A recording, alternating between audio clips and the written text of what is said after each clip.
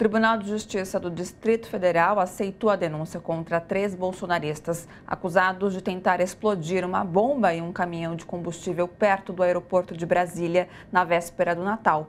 Os três são Jorge Washington de Oliveira Souza, Alan Diego dos Santos e Wellington Macedo de Souza. Eles são acusados de tramar o ataque e produzir a bomba. Já a Justiça Federal irá analisar as acusações de atos de terrorismo, se estão configurados crimes contra o Estado Democrático de Direito.